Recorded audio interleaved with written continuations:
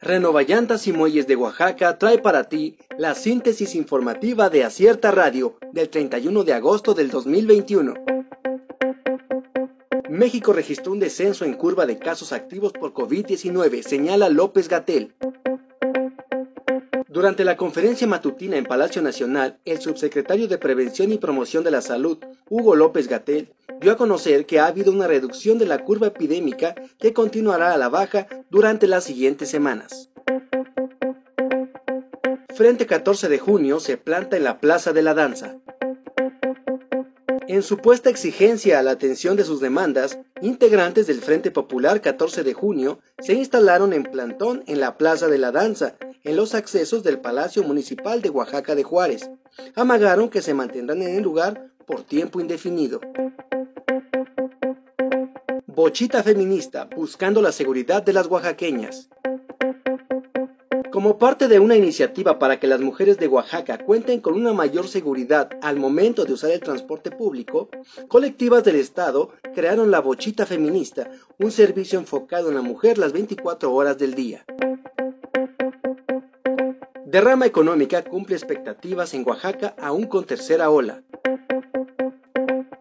El periodo vacacional de verano concluyó hace unos días y aunque en Oaxaca como en el resto del país se vive la tercera ola de contagios por COVID-19, las expectativas planteadas por las autoridades estatales respecto a la derrama económica por las vacaciones fueron cumplidas.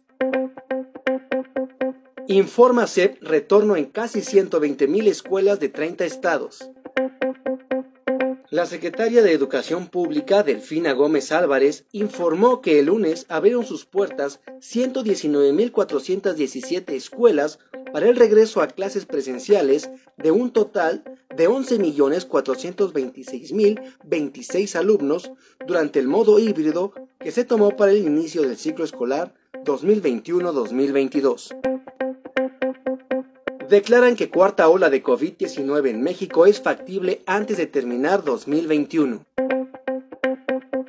Arturo Erdeli, actuario y doctor en ciencias matemáticas de la UNAM, declaró que de acuerdo con los últimos datos sobre el exceso de mortalidad de la Secretaría de Salud Federal, ya se acumulan 508 mil muertes por COVID-19 en México. AMLO presume libertad de expresión en su gobierno. El presidente Andrés Manuel López Obrador aseguró que en estos dos años y nueve meses de su administración se ha garantizado la libertad de expresión y no se ha perseguido a periodistas. Renovallantas y Muelles de Oaxaca trajo para ti la síntesis informativa de Acierta Radio. Escúchanos el día de mañana con más información. Síguenos en las redes sociales como Acierta Oaxaca. Visita nuestra página web www.acierta.mx.